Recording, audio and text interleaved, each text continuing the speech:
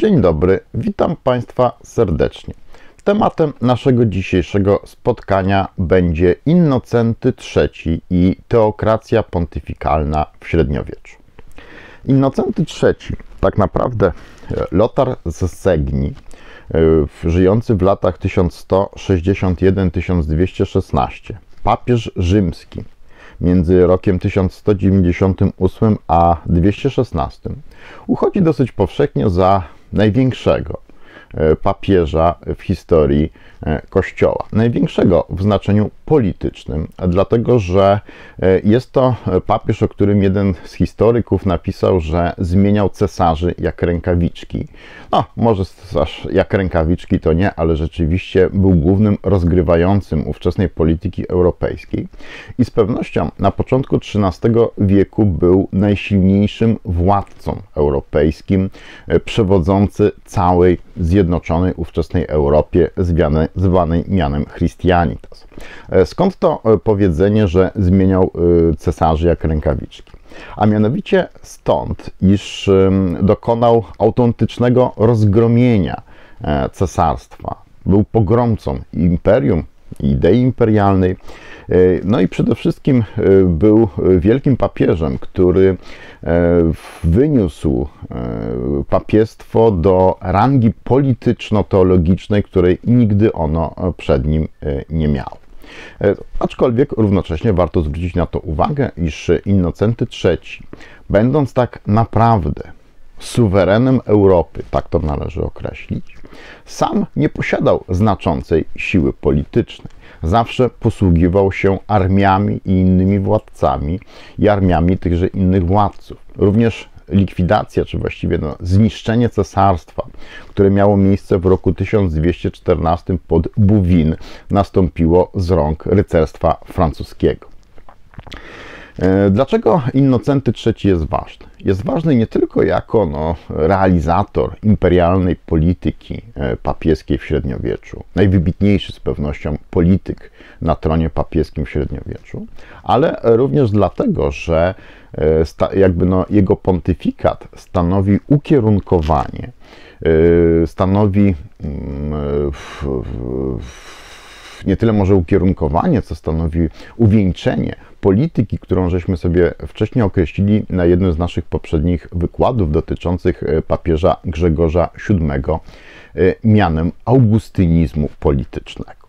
E, cóż takiego wnosi do augustynizmu politycznego Innocenty III? Gdybyśmy sobie spojrzeli, przypomnieli sobie jeszcze raz, do czego Państwa zachęcam, mój wykład dotyczący Grzegorza VII, to zobaczymy, że w, to, w teorii, w teologii politycznej e, Grzegorza VII olbrzymie znaczenie odgrywała religia, objawienie, litera biblijna. E, jak mawia jeden z historyków, Jan Baszkiewicz, świętej pamięci Jan Baszkiewicz, e, Grzegorz VII w walce cesarz, z cesarzem rzucił całą, cały autorytet objawienia na szale swojej walki. E, Innocenty III e, to jest już człowiek troszeczkę mm, z innego świata, to jest 100 lat e, później, ze świata, w którym olbrzymie znaczenie ma już rozum. Mamy tutaj, to już jest okres dialektyków Abelarda, E, a więc rozum, no i przede wszystkim prawo. Prawo, które wtedy zaczyna być w Europie e, łacińskiej odtwarzane na podstawie prawa rzymskiego. Stąd też e, program Innocentego III możemy określić mianem augustynizmu politycznego, czyli przekonanie, że Wszelka władza prawowita pochodzi z nadania Kościoła katolickiego, który jest szafarzem łaski, ale e, wszystkie formy tego nadania muszą mieć charakter opisany prawnie. I rzeczywiście można powiedzieć, Innocenty III dokonuje e, takiego opisu prawnego. Zachowało się do naszych czasów z okresu tego e, pontyfikatu, który trwał lat 18, 5116 listów i pism papieskich. No, olbrzymia korespondencja papieska. Kilka tomów patrologii latina stanowią same dokumenty papieskie. Również w zbiorach, w katalogach, katalogach watykańskich, no takim znanym zbiorze Podhasta jest to 500 stron prawie, wyliczenia samych dokumentów, do kogo były adresowane i tak dalej. Także jest to olbrzymi materiał, z którego 300 dokumentów w sposób trwały trafiło do prawa kanonicznego, stanowiąc źródła prawa kanonicznego. Stąd też można powiedzieć, że dorobek Innocentego III można traktować dwojako.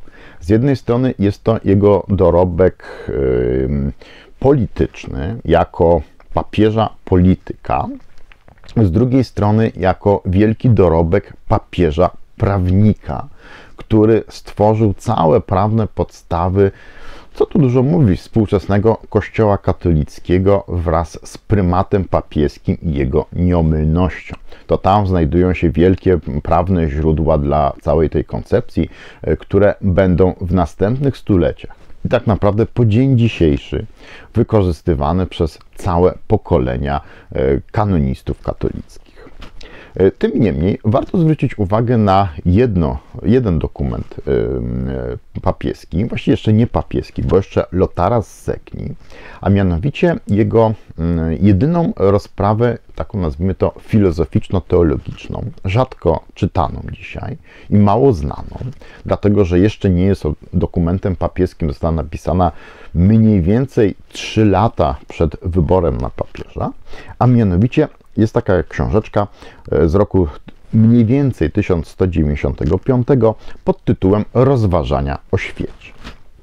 E, jest to e, książka, którą ja powiem szczerze czytałem z dużym takim no, zaskoczeniem i z dość dużym początkowo no, zdziwieniem. Książka napisana w duchu całkowicie świętego Augustyna i przekonania o tym, że typowo właśnie augustyńskiego, że cały świat skażony jest przez grzech i grzech pierworodny. Wszystko, co człowiek doświadcza w życiu, jest związane z faktem skażenia człowieka i świata przez grzech. Świat jawi się przyszłemu Innocentemu III jako pogrążony w bólu, w cierpieniu i w śmierci gdzie człowiek tylko i wyłącznie cierpi za swoje grzechy, grzechy swoich przodków. Musi e, ciężko pracować, znosić ból, umierać, znosić głód, zło, cierpienie, e, również władza polityczna, państwo pochodzi, powstało w wyniku grzechu. Także typowy, taki bym powiedział, motyw od świętego Augustyna. Ale jest w tej, w tej e, dosyć grubej, kilkusetstronicowej książeczce, właśnie książce, pewien motyw pozytywny. Jeden jedyny, jedno światełko w tym ciemnym tunelu rzeczywistości.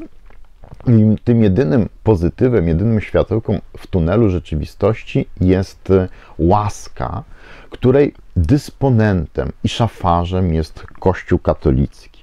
Jedynie e, łaska Kościoła katolickiego uświęca i zmazuje grzechy, mogą dać, dać prawdziwe szczęście. E, jak mówię, e, książeczka rozważania o świecie właściwie nie jest czytana. Y, nie była również y, tłumaczona właściwie na inne języki poza łaciną.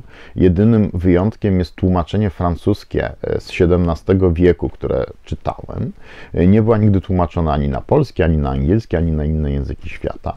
Zresztą również po tym wydaniu francuskim z XVII wieku nigdy również nie była chyba w języku francuskim wznawiana.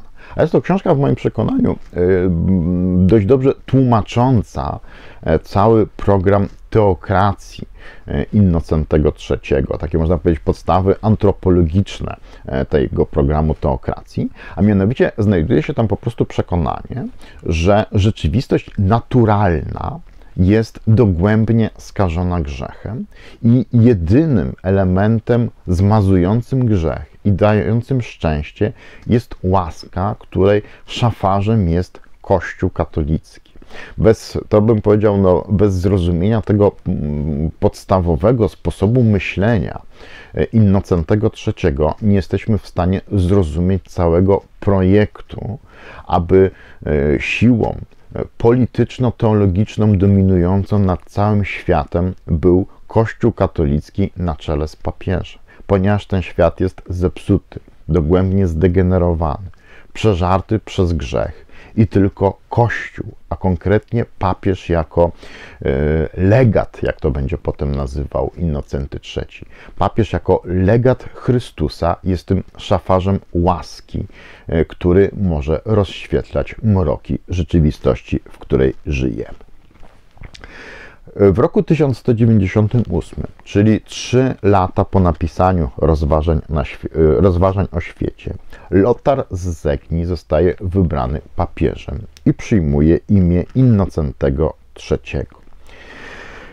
I realizuje program, który w moim przekonaniu zawarty jest w rozważaniach e, o świecie i Jedyna jakby tutaj nowość jest taka, że e, wcześniej jakby no, tym e, nosicielem, pośrednikiem dającym łaskę, szafarzem łaski jest Kościół katolicki, e, podczas kiedy już jako papież Innocenty III bardzo mocno będzie w tym kościele akcentował rolę papieża, jako tego, który, do którego Jezus skierował wszystkie swoje obietnice, to znaczy oczywiście do Piotra, a papież jako następca świętego Piotra jest adresatem wszystkich obietnic dotyczących wiary i łaski, które znajdujemy w Nowym Testamencie.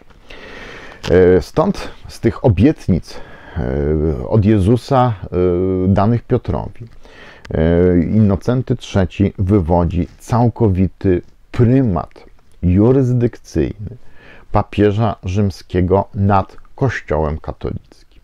Przy czym tu jest bardzo ważna uwaga. Kiedy Innocenty III pisze Kościół katolicki, to ma tutaj mm, przed oczami instytucje w znacznie szerszym pojęciu niż my dzisiaj. Dlatego, że my jakby rozróżniamy, że jesteśmy w Kościele i poza Kościołem i na przykład traktujemy całe życie polityczne i społeczne jako życie pozakościelne, w którym katolicy biorą udział. Innocenty III patrzy na to z perspektywy średniowiecznej i widzi sprawę inaczej. Y, wszyscy i wszystko znajduje się w Kościele katolickim. Również władcy, państwa i wszyscy poddani władcy są w Kościele jak e, naucza Innocenty III. Jurysdykcja duchowa Rzymu nie jest ograniczona co do żadnego terytorium i obejmuje wszystkich, tak poszczególnych ludzi, jak i całe królestwa. Dlatego też rozróżnienie pomiędzy Kościołem i państwem, tak fundamentalne dla, co tu dużo mówić, nowożytnego pojęcia polityki, a również Kościoła, jest Innocentemu III nieznane, ponieważ wszystko to, co dotyczy Kościoła, dotyczy również państwa.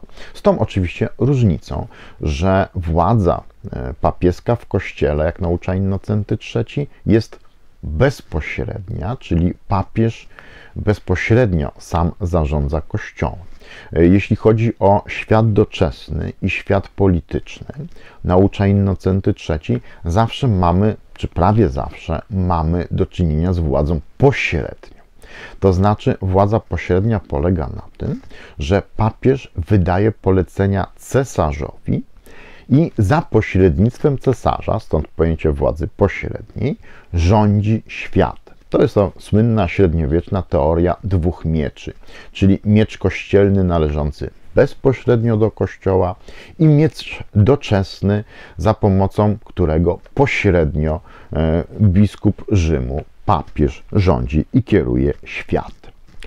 E, dlatego też konsekwentnie, jeśli będziemy w tej symbolice, w symbolice e, dwóch mieczy, która w średniowiecze cały czas funkcjonuje i bez której sobie nawet trudno myśl średniowieczną wyobrazić, to możemy podzielić uprawnienia papieskie w stosunku do świata na uprawnienia, nazwijmy to w ten sposób, wewnątrzkościelne i zewnątrzkościelne, czyli poza instytucją strukturalną Kościoła hierarchią, a więc dotyczące świata całego chrześcijańskiego, również politycznego, który znajduje się w Kościele, aczkolwiek nie są to osoby duchowne. W takiej sytuacji zacznijmy od miecza e, tego ważniejszego, czyli miecza, który bezpośrednio przynależy do papieża, czyli Kościół katolicki. E, w Kościele katolickim e, z dekretałów i pism papieża Innocentego III wynika, że papież rzymski posiada dziewięć podstawowych uprawnień. Wyliczmy je sobie. Po pierwsze, posiada weto do wyboru biskupa przez kapitułę. Pamiętajmy, że są to czasy, w których jeszcze idea, iż papież mianuje wszystkich biskupów na całym świecie, jest ideą nieznaną. Jest to idea mocno późniejsza. Świat ówczesny był zbyt zdecentralizowany. Problemy komunikacyjne były jeszcze zbyt duże, aby papież mógł e, być w odpowiednim czasie poinformowany e, o śmierci biskupa i konieczności wyznaczenia następcy, żeby mógł go wyznaczyć, zastanowić się, wybrać kandydatów i tak dalej. W ówczesnym świecie, przy ówczesnych środkach komunikacji, gdzie ocenia się, że e, posłaniec konny przemierzał około 40 km dziennie po wertepach, mówiąc wprost, 40 km linii prostej, no takie bezpośrednie, ręczne kierowanie kościołem, mianowaniem biskupów właściwie było niemożliwe. Stąd też wtedy było jeszcze oczywiste, że po śmierci biskupa następca wybierany jest przez kapitułę, czyli przez najbliższych współpracowników zmarłego. I jedyne, co Innocenty III sobie tutaj, można powiedzieć, zastrzega, jest to prawo weta absolutnego do, w stosunku do nieodpowiednich, a obranych kandydatów. Także to jest po pierwsze właśnie to prawo y, weta absolutnego do wyboru biskupa przez kapituł. Punkt drugi. Tworzenie i znoszenie y, diecezji, czy też jeszcze no, możliwość trzecia, zmiany granic diecezji. Jest to y, absolutne uprawnienie papieskie nikt inny nie posiada uprawnienie, uprawnień tworzenia i zmian diecezji. No jest to oczywiście wielka polemika z teoriami y, cesarskimi, regalistycznymi, ponieważ cesarze, jak wiemy, no, uzurpowali sobie prawo tworzenia nowych biskupstw, arcybiskupstw itd. Tak Punkt trzeci. E, w, w prawo usunięcia biskupa. E, jest wyraźnie powiedziane, że w przypadku złamania prawa kanonicznego e, biskup może zostać usunięty tylko i wyłącznie przez papieża rzymskiego. Kapituła nie posiada uprawnienia usunięcia biskupa. Musi tą, z tą kwestią, jeżeli doszło do złamania prawa rzymskiego czy jakiegoś innego przestępstwa, zwrócić się bezpośrednio do papieża.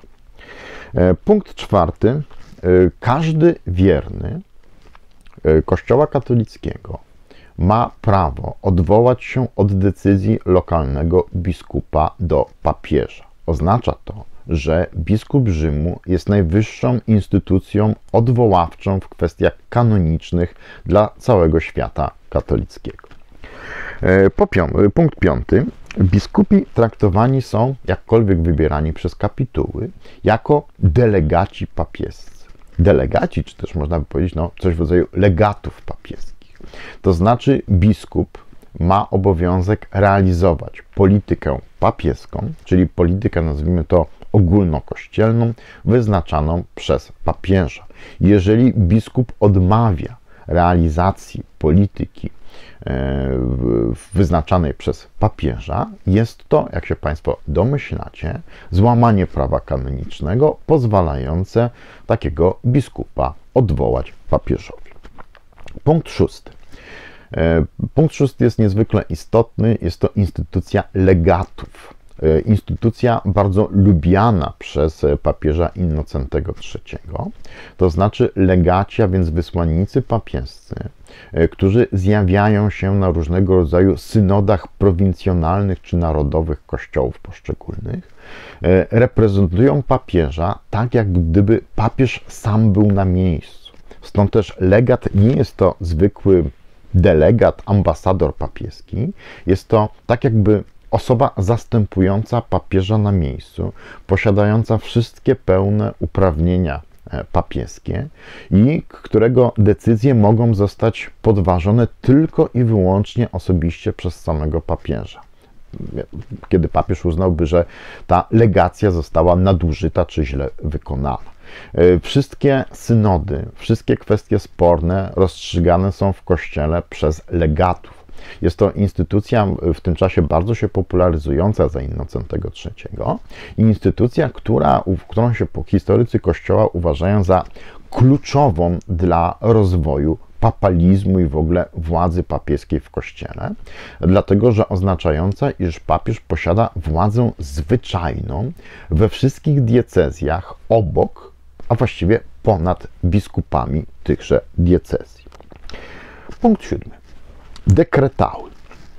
No, mamy te 5116 listów i pism papieskich, popularnie zwanych dekretałami.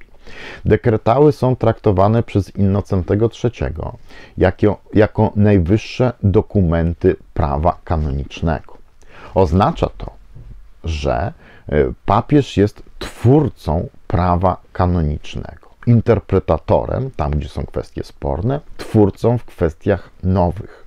E, czyli no, prawo kanoniczne jest tak naprawdę prawem tworzonym przez papieża, a nie przez e, regionalne e, tam jakieś zjazdy biskupów, prawda, zgromadzenia biskupów i tak dalej. Tworzone jest tylko i wyłącznie przez papieża. Jest to bardzo ważna zasada, dlatego że po dzień dzisiejszy w tej chwili mamy ugruntowaną zasadę, że kodeksy prawa kanonicznego wydawane są przez Rzym. Jest to zasada ugruntowana e, na dekretałach Innocentego III. Wreszcie e, punkt ósmy. Coś, co można by dzisiaj nazwać mianem nieomylności papieskiej. Mówię coś, co można by nazwać mianem nieomylności, dlatego że średniowiecze nie zna pojęcia nieomylności papieskiej. Ono się pojawia dopiero gdzieś tam koło XIV wieku w pierwszych tekstach. Pojęcie nieomylności papieskiej tak naprawdę jako nieomylność to już jest epoka nowożytna. W średniowieczu mówi się o niemożności papieża popadnięcia w błąd. No, tutaj kanoniści rozróżniają te pojęcia i mówią, że pojęcie nieomylności jest znacznie silniejsze od niemożności popadnięcia w błąd, chociaż my jako laicy zwykle nie dostrzegamy specjalnej różnicy, czy ktoś jest nieomylny, czy też nie może popaść w błąd, wydaje nam się być mniej więcej tym samym. No ale jak mówię, kanoniści to pojęcia rozróżniają y, i sam Innocenty III nie używa pojęcia nieomylności, ponieważ wtedy ono w ogóle jeszcze nie istniało, i przypisuje papieżowi rzymskiemu właśnie niemożność popadnięcia w błąd. Daje mu to prawo mm, ostatecznego objaśniania i interpretowania wszystkich dogmatów wiary, a każdy, kto sprzeciwia się ostatecznej interpretacji papieskiej, traktowany powinien być jako heretyk. Jak mówię, no, z naszego punktu widzenia takiego przeciętnego katolika, laika, pomiędzy tym sformułowaniem a nieomylnością papieską wielkiej różnicy nie ma. No i wreszcie punkt y, ostatni, związany również z papieską no, nieomylnością, a mianowicie papież posiada przywilej, jedyny w Kościele, e, kanonizowania świętych. Dlaczego jest to tak ważna kwestia? dlatego że kanonizując, e, to nie jest tylko kwestia kanonizowania danej osoby. W przypadku no, jakiegoś kogoś, którym się zajmował całe życie działalnością charytatywną, nie, matki Teresy na przykład, no to nie pociąga to za sobą, y, sobą żadnych skutków natury dogmatycznej. Jeśli jednak, o czym pamiętać należy, papież kanonizuje na przykład jakiegoś teologa, to automatycznie oznacza to uznanie przez Rzym wszystkich głoszonych jego poglądów e, religijnych, kanonicznych, teologicznych, dogmatycznych za zgodne z nauczaniem Kościoła. Dlatego instytucja mm, kanonizowania y, dość mocno wiąże się z tym problemem nieomylności papieskiej, czy niemożności popadnięcia w błąd, jak wtedy to nazywano, e, dlatego że y, oznacza to, że skoro e, papież kanonizuje, to wskazuje, że dany teolog jest teologiem e, w 100%, w pełni i bez żadnych wątpliwości zgodny z ortodoksją. Dlatego też kanonizując zmarłych teologów, ojców Kościoła, doktorów Kościoła, różnych mistrzów itd., tak w ten sposób ich doktrynę y, wysuwa się naprzód jako tą, która jest prawowierna i nie budząca jakichkolwiek e, kontrowersji natury teologicznej. Dlatego to, to uprawnienie papieskie organicznie wiąże się z nieomylnością. E, druga, e, druga bym powiedział, drugi element władzy nad Kościołem papieża wiąże się z uprawnieniami w stosunku do państwa. Są to uprawnienia mm, papieskie natury pośredniej, czyli za pośrednictwem cesarza e, realizowane. No i to oczywiście powoduje, że e, z punktu widzenia e, doktryny i nauki Innocentego III cesarz jest kluczowym elementem w całej układance politycznej, dlatego że papież generalnie rządzi światem chrześcijańskim, politycznym i społecznym za pośrednictwem cesarza. Komunikuje się z tym światem za pośrednictwem cesarza. Stąd ten cesarz jest tak ważny. I dlatego Innocenty III e, ciągle zmienia tych cesarzy jak rękawiczki, szukając tego można powiedzieć, doskonałego, który będzie najlepszym narzędziem Kościoła w realizacji jego interesów i ewangelizacji całego świata. I dlatego władza cesarska tak naprawdę znajduje się w centrum zainteresowania e, Innocentego III i władzy cesarskiej poświęcona jest dość duża liczba dekretałów. I tutaj od razu uwaga na samym początku. Wbrew temu, co częstokroć się sądzi i uważa. I można znaleźć na ten temat masę e, w literaturze e, argumentów, tez i tak dalej. Nie jest prawdą, że władza papieska jest przez Innocentego III uzasadniana za pomocą donacji Konstantyna i translacji imperium przez Leona III w roku 800. Dlaczego nie jest? E, dlatego, że w przekonaniu Innocentego III donacja Konstantyna, która zresztą powiedzmy sobie szczerze nie jest specjalnie mocno eksploatowana w ogóle e, w dekretałach Innocentego III, na 5166 dokumentów donacja Konstantyna zostaje wspomniana w siedmiu, czyli mniej więcej w jednym na 750 e, dokumentów jest wspomniana donacja Konstantyna.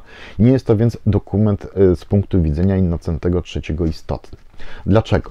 Dlatego, że Innocenty III uważa, że jeśli mielibyśmy, uznalibyśmy donację Konstantyna za dokument autentyczny, no dzisiaj wiemy, że tak nie jest, e, to w takiej sytuacji oznaczałoby, że władza papieska nad światem pochodzi z nadania władzy cesarskiej. Czyli przed donacją, przed donacją Konstantyna papież nie byłby zwierzchnikiem świata. Innocenty III odrzuca ten pogląd i w tych kilku miejscach, w siedmiu dokładnie, w których w ogóle porusza temat donacji Konstantyna, traktuje ją jako potwierdzenie przez cesarza rzymskiego Konstantyna Wielkiego uprawnień papieskich nad światem. Ale nie jest to potwierdzenie, ale nie źródło uprawnień papieskich. E, podobnie, e, podobnie mamy z translacją z roku 800, która również częstokroć w literaturze możemy znaleźć pogląd, że fakt, iż Leon III przeniósł cesarstwo ze wschodu na zachód na Karola Wielkiego, jest źródłem władzy papieskiej. Dlaczego Innocenty III ten pogląd odrzuca? Z tego samego powodu, z którego neguje znaczenie e, donacji Konstantyna. Dlatego, żeby to, że oznaczałoby to, że przed rokiem 800 to papież nie posiadał takich kompetencji. Co jest oczywiście mm, według Innocentego III absolutnym zafałszowaniem. Dlatego też Innocenty III zupełnie inaczej dowodzi uprawnień władzy kościelnej w stosunku do władzy doczesnej, a szczególnie w stosunku do cesarza. Mamy tutaj trzy podstawowe argumenty. Po pierwsze, słynna symbolika Słońce i Księżyc. Nieprzypadkowo kolega e, mój, który projektował e, okładkę mojej książki, Teokracja papieska 1073-1378, tutaj zamieścił słoneczko i zamieścił księżyc. To nie jest żaden przypadek, ponieważ e, w teorii teokracji papieskiej jest to symbolika niezwykle istotna. Innocenty III wielokrotnie się do niej odwołuje i dam tutaj taki przykład. W roku 1198 e, papież pisze: Bóg, jako stwórca wszechświata, stworzył na niebiosach dwa wielkie światła. Światło większe, aby rządziło dniem, i światło mniejsze, aby rządziło nocą. Wszystko to ustanowił Bóg dla powszechnego Kościoła, który nazywają Królestwem Niebieskim. Ustanowił dwie wielkie godności. Większą, aby tak jak słońce rządziło dniami, tak aby i Kościół rządził duszami.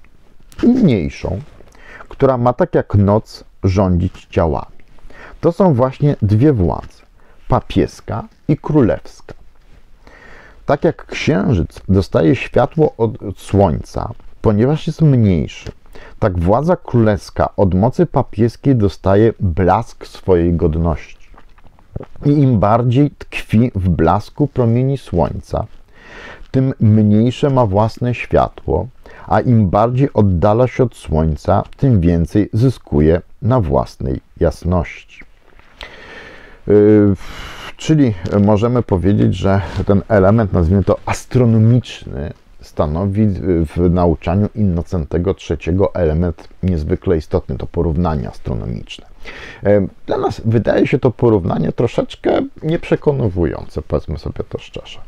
E, kiedy pisałem swoją książkę o teokracji, zetknąłem się jakby z całą tą argumentacją, zacząłem nad nią myśleć, też mnie to nie przekonywało, e, póki nie sięgnąłem do książek dotyczących nauki średniowiecznej. I wtedy jakby no oświeciło mnie słońce również, dlaczego ten argument jest tak istotny. Okazuje się, że ówcześni średniowieczni e, pierwsi astronomowie bardzo żywo interesowali się księżycem i słońcem. I żywo ich interesowała kwestia, czy y, księżyc świeci swoim własnym, własnym światłem, czy też światłem odbitym od słońca. I przez bardzo długo uważano, że ponieważ księżyc świeci, to jest również sam źródłem światła i wydawało się, że jest światło dzienne, czyli słońce, i światło nocne, czyli księżyc. Y, I mniej więcej wtedy, kiedy Innocenty pisze e, te słowa, doszło do swojego rodzaju rewolucji naukowej, a mianowicie astronomowie przychylili się do nowego poglądu, że księżyc nie jest źródłem światła, że księżyc tylko i wyłącznie odbija światło słoneczne.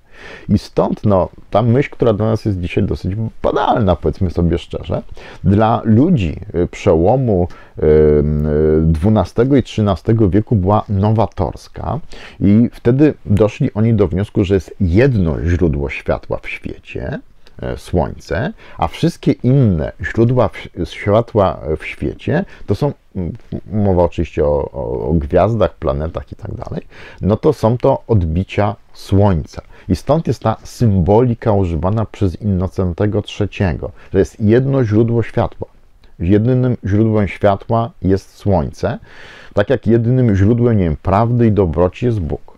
I jedynym źródłem władzy politycznej w takiej sytuacji i łaski jest Kościół, a wszystkie pozostałe instytucje polityczne świecą odbitym światłem Kościoła.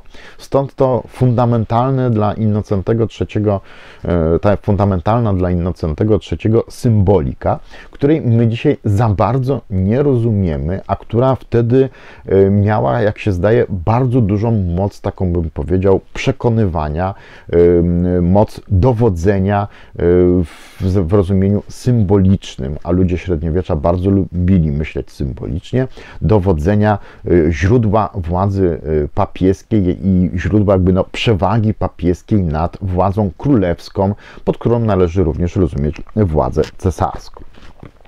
Drugi argument, niezwykle chętnie przytaczany i przywoływany przez Innocentego III, jest to ze Starego Testamentu opisana postać kapłana króla Melchi, Melchizedeka, władcy Salem. E, skąd, e, tak, skąd, skąd ta ważna koncepcja? A mianowicie patriarchowie Izraela, tacy jak Abraham, Mojżesz, potem jeszcze również prorok Samuel, e, byli duchownymi, którzy spełniali równocześnie funkcje polityczne, dzierżąc władzę polityczną. Jest to koncepcja, która się niezwykle podoba Innocentemu III z bardzo prostego powodu, którego być może my też dzisiaj nie rozumiemy i który dlatego trzeba objaśnić. Jeśli sobie Państwo sięgniecie do moich wykładów dotyczących średniowiecznej koncepcji króla kapłana, to znajdziecie tam Państwo bardzo silną, typowo taką bym powiedział dla plemion germańskich przekonanie, że władza polityczna e, stanowi e, władza królewska ma moce mistyczne, nadprzyrodzone, a więc równocześnie jest władzą kapłańską. Dlatego też władca ma prawo podporządkować sobie kościół i mianować biskupów. Innocenty III, przywołując Melchizedeka, Abrahama, Samuela, prawda, y, Mojżesza i tak dalej, idzie w odwrotnym kierunku. Mówi, że Stary Testament pokazuje zarówno królów będących kapłanami, jak i pokazuje kapłanów będących królami. I papież jest kapłanem, który równocześnie jest królem. Stąd tak e, chętnie podkreślany ten element tego króla Melchizedeka, który należy traktować polemicznie ze wszystkimi koncepcjami cesarskimi, z których wywodzono prawo do świeckiej inwestytury biskupów. No i wreszcie trzeci element, nazwijmy to doktrynalny, używany przez Innocentego III dla wykazania e, uprawnień papieża w stosunku do władzy politycznej, w stosunku, szczególnie w stosunku do cesarza. A mianowicie władza klucz, te wszystkie obietnice, które święty Paweł usłyszał od Chrystusa, w tym najważniejsza władza klucz. My dzisiaj władzę kluczy, władzę wiązania i rozwiązywania, niestety, bardzo zawęziliśmy i y, w świadomości takiej potocznej, można powiedzieć, władza wiązania i rozwiązywania to właściwie została zredukowana tylko i wyłącznie do związku małżeńskiego, że papież posiada prawda, moc e, związywania, a również rozwiązywania, czyli uznawania nieważności e, związku małżeńskiego. E, w średniowieczu władza kluczy była traktowana niezwykle szeroko. Dlaczego? Dlatego, że to była władza E, wiążąca się z kontrolą Kościoła nad wszystkimi przysięgami.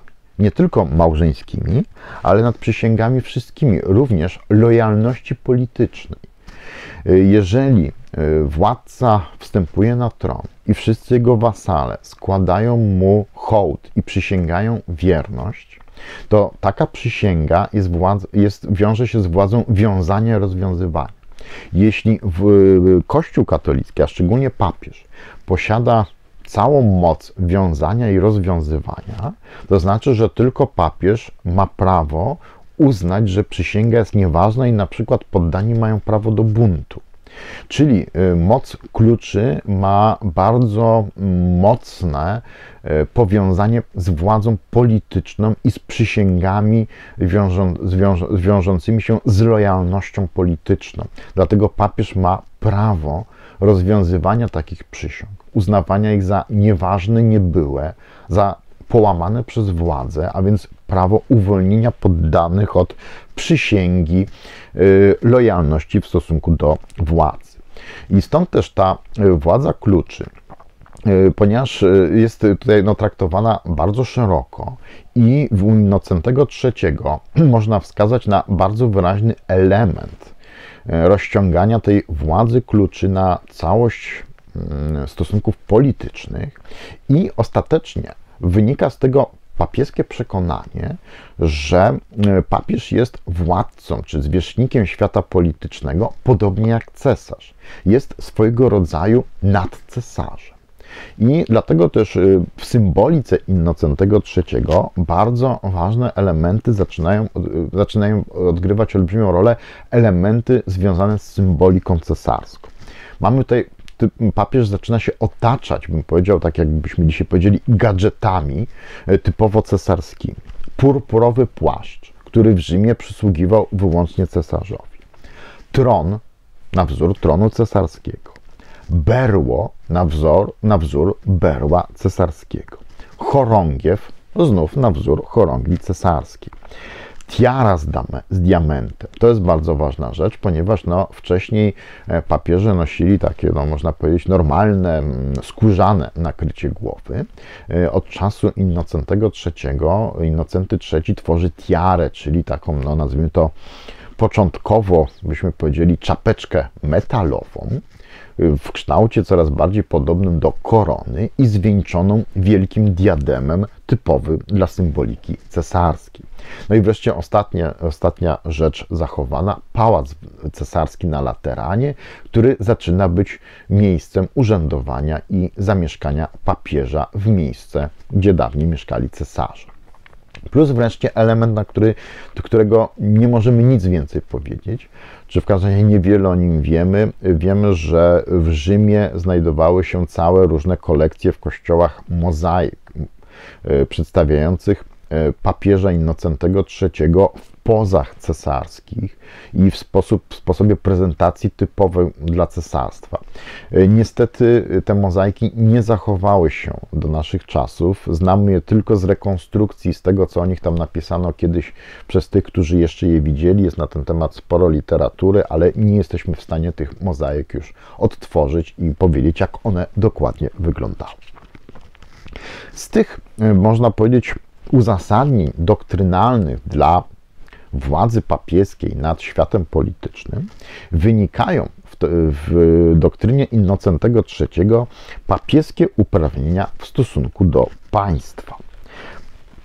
Wynikają one wszystkie z typowego dla augustynizmu politycznego przekonania, że nie istnieje władza prawowita sama z siebie, ponieważ sama z siebie wynika z grzechu.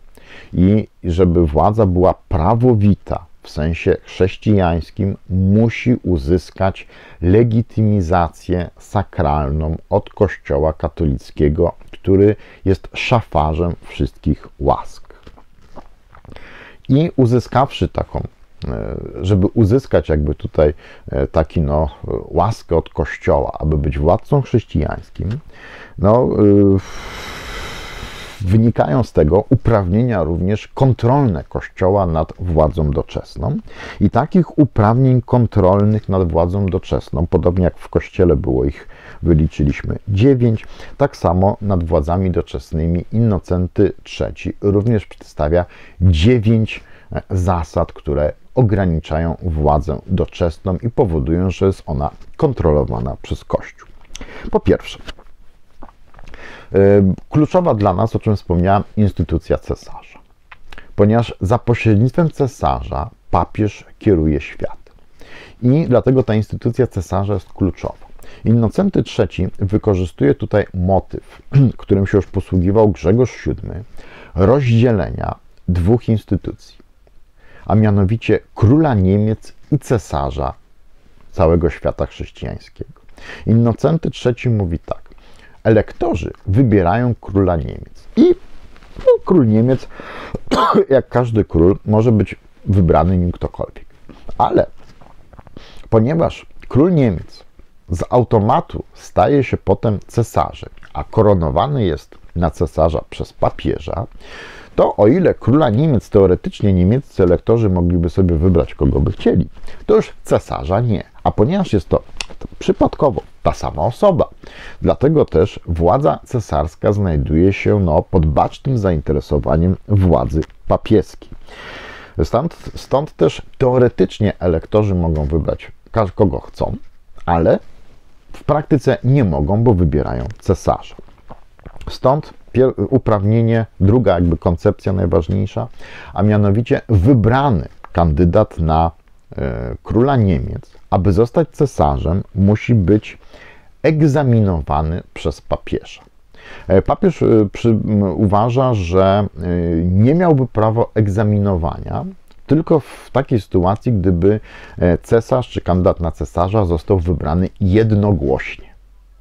Ale ponieważ w praktyce się tak nie dzieje, i chyba nigdy tak nie było, żeby został wybrany jednogłośnie. Dlatego daje to papieżowi prawo no, wyboru pomiędzy zgłoszonymi kandydatami. I papież przyznaje sobie prawo odrzucenia kandydata elektorów niemieckich i wskazania innego. Zresztą, co ciekawe, y, jest to o, tyle interesujące, że specjaliści od prawa kanonicznego podkreślają, że jest to nic innego niż przeniesiona na prawo polityczne, na ustrój państwa zasada znana już tutaj nam wcześniej z wyboru biskupów, a mianowicie y, kapituła biskupia po śmierci biskupa wybiera następcę i następnie ten następca musi zostać zaakceptowany przez papieża. I tutaj można powiedzieć, e, jest dokładnie, to znaczy umiera cesarz, e, elektorzy, tak jak kapituła biskupia, wybierają następcę i ten następca musi zostać zaakceptowany przez papieża. I papież posiada oczywiście prawo weta. Trzecia ważna kwestia. Elekcyjność cesarstwa. E, Innocenty III, podobnie zresztą jak i cały, wszyscy papieże rzymscy, absolutnie odrzucają koncepcję dziedzicznej władzy cesarskiej. Dlaczego? Dlatego, że wtedy przechodziłaby ona bezpośrednio z ojca na syna i y, papieskie prawo egzaminowania cesarza z tego, czy jest dobrym katolikiem, będzie dbał o instytucje kościoła, by zanikło. Dlatego też Innocenty III bardzo mocno podkreśla, że władza cesarska ma charakter elekcyjny. Po czwarte, jeżeli nie doszło do wyboru jednomyślnego, czyli de facto zawsze, e, i papież wskazał kandydata na, na cesarza, innego niż wskazali elektorzy, czy też uznał wybór elektorów, to e, ma prawo podyktować cesarzowi coś w rodzaju umowy koronacyjnej, takiej, takiej no, coś w rodzaju jak jakieś takie, nie wiem, no, pakta konwenta w Rzeczpospolitej Szlacheckiej. To znaczy tekst umowy pomiędzy cesarzem a papieżem, w którym cesarz musi przysiąc przestrzeganie praw e, Kościoła, jego własności, autonomii, no i przede wszystkim przysiąc to, że będzie słuchał się papieża i w jego imieniu kierował światem chrześcijańskim. E, po piąte, e, papież przypisuje sobie prawo stanowienia królestw również własnoręcznie bez zgody cesarskiej. Jest taki dokument do e, księcia bułgarskiego papieski z roku, jeśli mnie pamięć nie myli, 1208, w którym papież stwierdza, iż tenże władca bułgarski, książę bułgarski dostaje od niego przywilej ogłoszenia się królem. Wreszcie punkt szósty. Kościół posiada, papież posiada prawo ekskomuniki E, każdego władcy chrześcijańskiego. To jest oczywiście uprawnienie e, zaczerpnięte jeszcze z arsenału takiego teologiczno-politycznego e, papieża Grzegorza VII.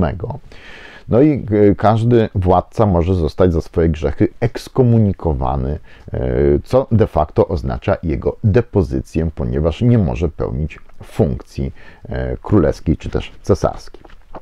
Punkt siódmy interdykt. E, skąd się wzięło e, pojęcie interdyktu i co to w ogóle jest? Ekskomuniką e, można było obłożyć osobę, która, jak mówi sama nazwa, jest ekskomunio, czyli usunięta ze wspólnoty. Jednakże nie wszystkie władze polityczne dało się ekskomunikować. Monarchów tak, cesarza tak, ale jeśli mamy do czynienia już na przykład nie wiem, z władzami miejskimi, które na przykład naruszyły dobra kościelne, czy też popełniły jakiś akt grzechu, bluźnierstwa, czy coś w tym rodzaju, e, jest problem z ekskomunikowaniem odpowiedzialnych. Dlatego, że mamy tutaj do czynienia z Radą Miejską, różnymi funkcjami wybieralnymi i tak. I pojawia się pytanie, czy jeśli wybieralny burmistrz miasta na przykład dokonał aktu bluźnierstwa, to należy ekskomunikować tegoż burmistrza, czy również wszystkich tych, którzy go wybrali. Stąd też, no, ponieważ w tych strukturach republikańsko-miejskich władza była to taka, no, trudno było wskazać tą osobę bezpośrednio, często odpowiedzialną za coś, bo miasto odpowiadało za coś, stąd pojawiło się pojęcie interdyktu, czyli usunięcia z, ze wspólnoty chrześcijańskiej całej ziemi, na której popełniono jakiś grzech. I cała ziemia została usuwana. Mógł być to usunięte miasto, mogło być usunięte królestwo. Papież Innocenty III użył tej, tej papieskiej Wunderwaffe, prawda, 90 razy w sumie posługując się, że to z racji grzechu, czyli racjone peccati, dokonuje czy to ekskomuniki osoby, czy też y, interdyktu całego państwa. W każdym razie, w kraj, w, tak jak ekskomunika, ekskomunikowany nie może przystępować do sakramentów, to w przypadku interdyktu cała ziemia jest pozbawiona sakramentów, włącznie z ostatnim sakramentem koniecznym, aby uzyskać zbawienie. Co więcej, posiada to również skutki polityczne.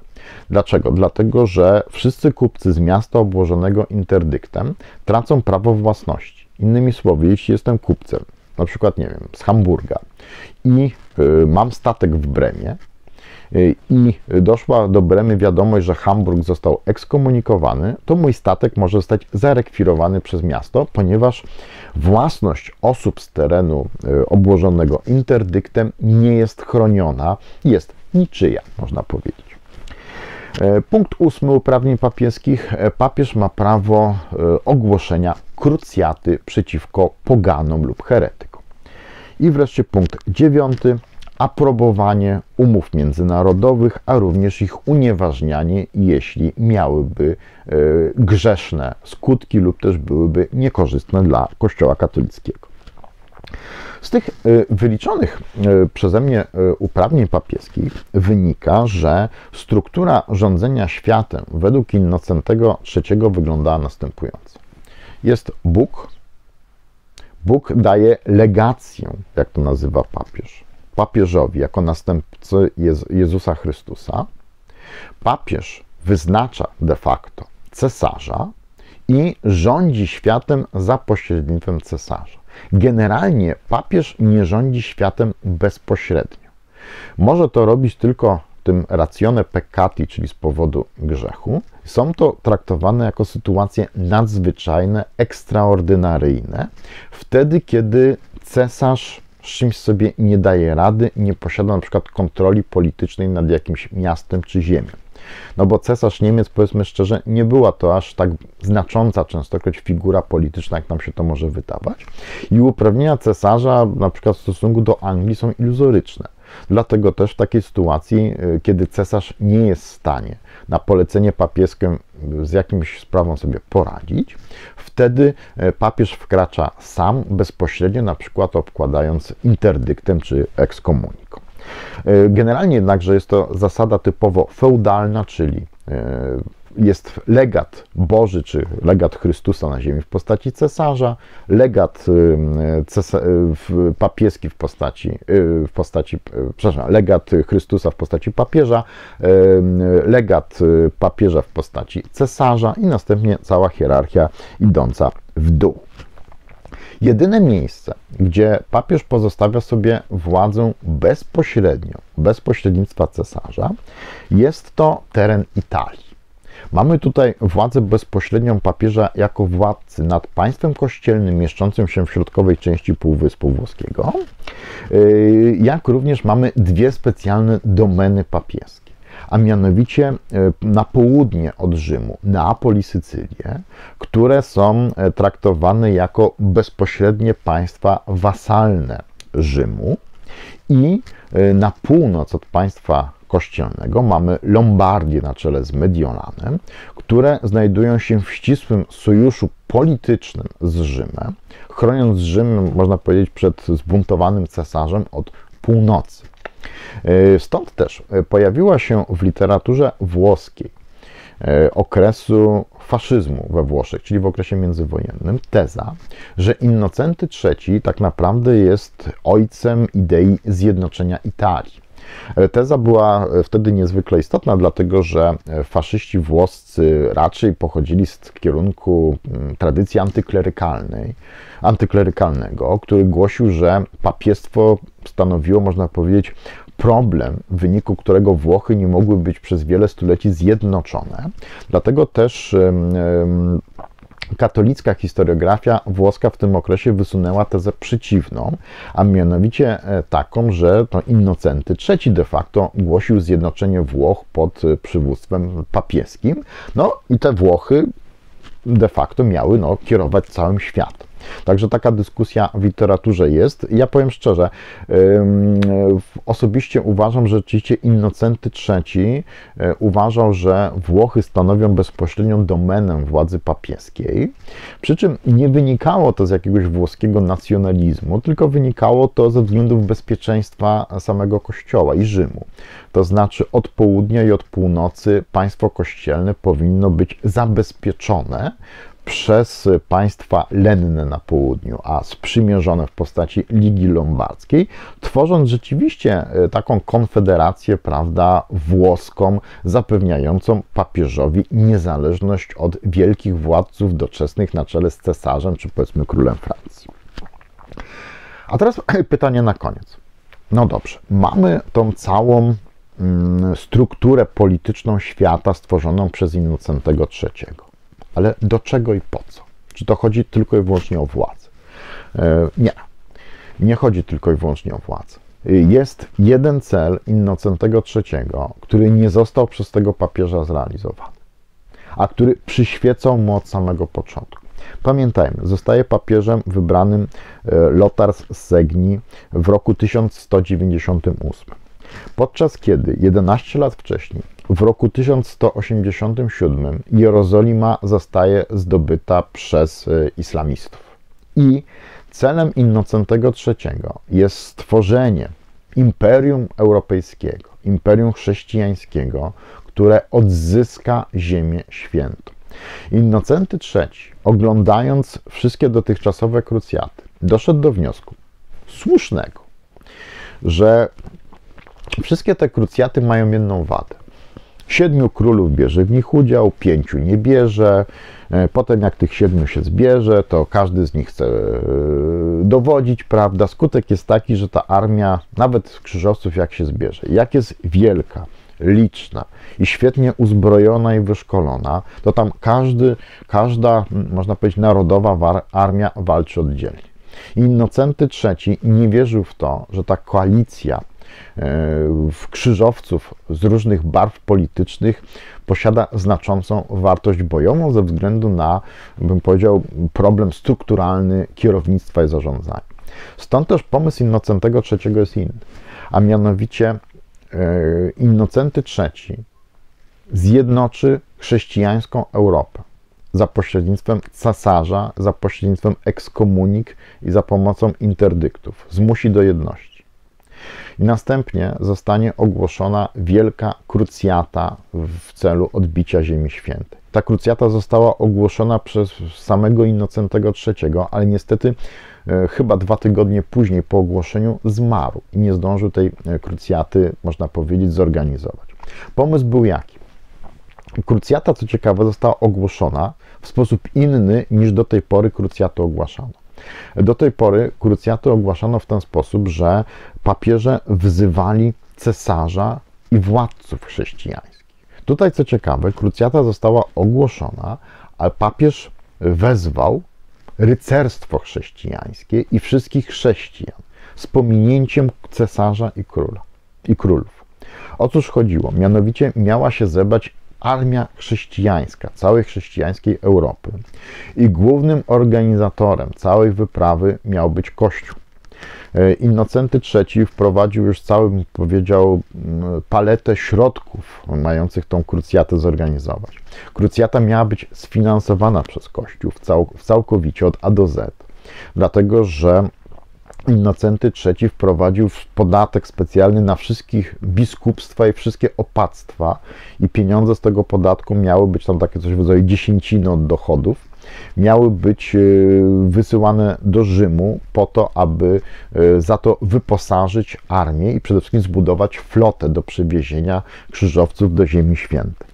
E, cesarz miał być z ramienia papieża tym głównodowodzącym militarnie krucjatą i tak naprawdę miał być jedynym z władców, który musiał być na tej krucjacie jako głównodowodzący. E, wreszcie, e, po trzecie, biskupów zobowiązano do opieki nad wszystkimi rodzinami wszystkich rycerzy, książąt, feudałów, którzy się mieli na krucjatę wybrać. Mieli być, rodziny miały być pod opieką miejscowych biskupów. Wszyscy biorący udział w krucjacie zostali zwolnieni na czas udziału w krucjacie e, ze spłacania długów, a wszystkie odsetki e, w, w tym czasie nie miały prawa narastać. Wreszcie e, wszyscy e, uczestnicy krucjaty mieli obiecany dopust, odpust zupełny e, za udział w krucjacie. No i wreszcie ostatnia rzecz, wszyscy ci, którzy współdziałali z Saracenami, wszyscy ci, którzy sprzedawali im broń, czy w jakikolwiek inny sposób z nimi spółkowali, mieli zostać, ich własność miała być konfiskowana i przeznaczana na krucjatę, a sami winni mieli być sprzedawani w niewolę. Także Innocenty III sformułował program stworzenia teokratycznego, kościelnego, papieskiego imperium europejskiego, które miało być zdolne do stworzenia wielkiej siły militarnej, do zorganizowania krucjaty mającej na celu odbicie Ziemi Świętej i zdobycie Jerozolimy. Niestety, po ogłoszeniu tej krucjaty Innocenty III umiera i program ten nigdy nie doszedł do skutku. Dziękuję serdecznie. To byłoby wszystko, jeśli chodzi o wielki program teokracji pontyfikalnej Innocentego III.